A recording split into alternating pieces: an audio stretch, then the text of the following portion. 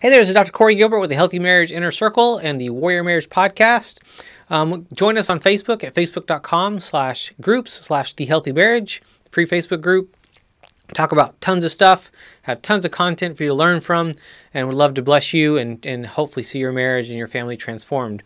Today we're going to look at Scott Stanley's research uh, from his book, The Heart of Commitment. It's compelling research that reveals the secrets of a lifelong intimate marriage.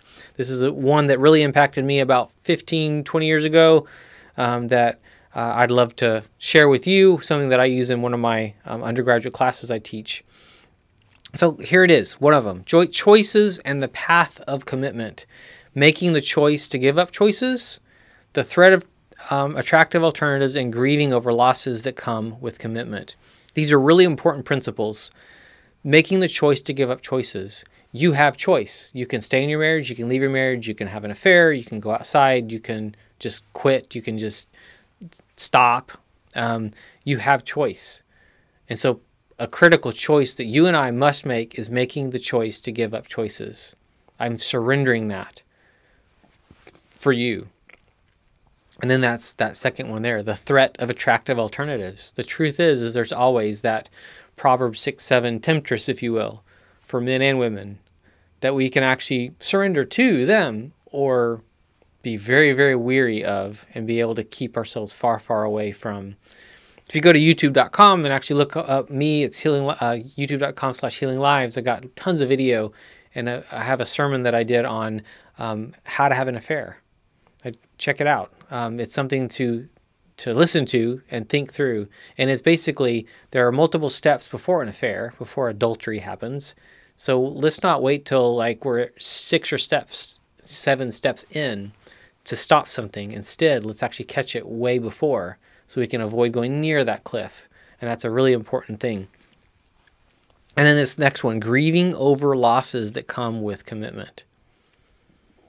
Every single commitment we make we are saying no to other things and other other people. Every job I take, I'm saying no to another job.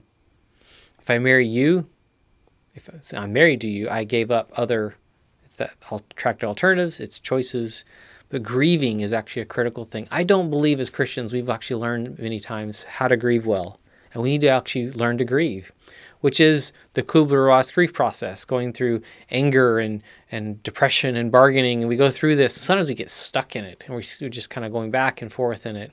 Really, we're trying to almost like make a case for why we should choose different.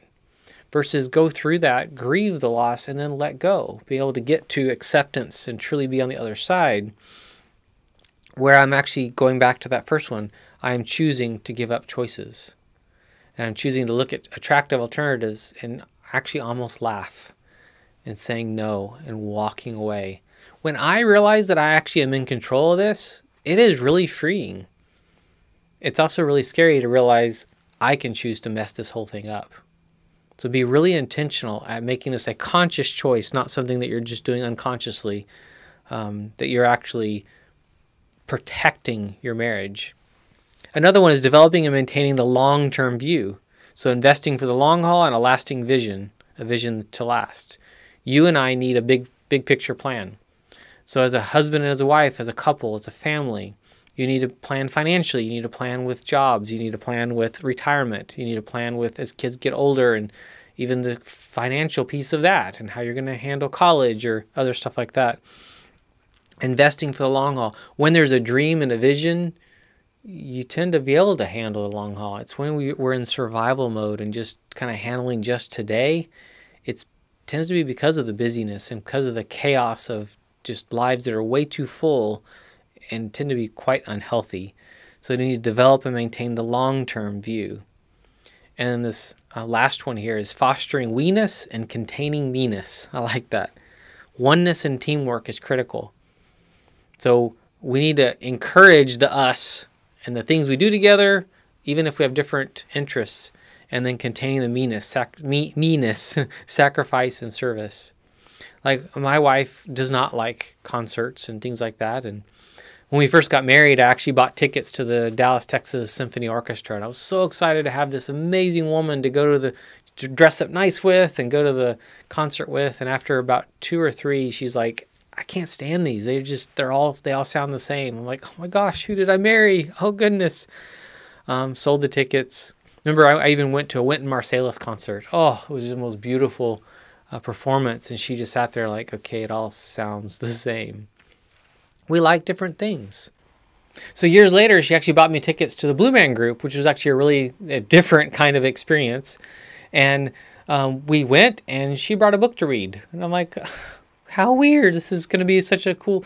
At the end, she actually was like, actually never picked up the book. She she didn't. She enjoyed the the performance, and it was kind of cheesy, and it was kind of cool, and um, was a fun adventure together. Um, and then at some point, she actually bought tickets to the, to Wicked, um, the the musical, and it was incredible. And she learned to really enjoy that too because it's more of a story, which is her her a place that she enjoys. Um, we all like different things.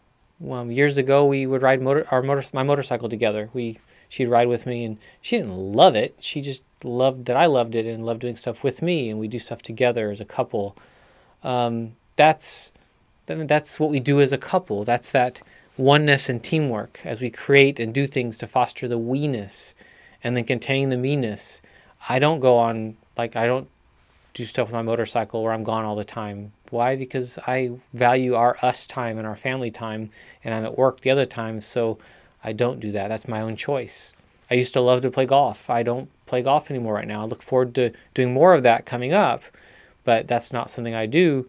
Um, until my kids can maybe join me because that's a lot of hours away and it's expensive. And you sacrifice yourself or things you want to do for the sake of the bigger picture of us. This is really important for all of us to think about um, in terms of developing a marriage that we actually protect, that allows them to be the best them and us to be the best us, and to develop the, the, the relationship between, and then also as we raise up our children in the way that they should go as they hopefully are desiring to follow God, that they're desiring to honor Him, and that they're an example to others, and they're actually um, young men and young women that actually have sexual integrity, that they actually can make wise choices. They don't think they have to date when they are 15 or 16 and can actually be wise in those decisions. So, hope this is encouraging and challenging you to think through some few things about your marriage. Um, some great research from Scott Stanley. Um, bless you in your marriage. And if you have questions, check me out at healinglives.com. Um, or you can even book a marriage breakthrough uh, session at uh, drcorey.org and would love to talk to you and see how I can serve you better. Bless you and your marriage.